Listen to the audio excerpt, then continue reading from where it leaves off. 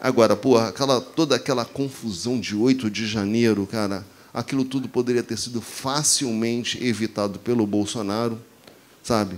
Porra, no final do mandato dele, se ele queria realmente que Lula não assumisse o, o, a presidência, era tão simples. Eu não, eu, eu não dei a sugestão na época, porque vai que ele seguia essa ideia. Mas pensa bem, ele, em vez dele fugir para os Estados Unidos, Bolsonaro decretava estado de sítio o Lula ia dizer que o sítio não era dele.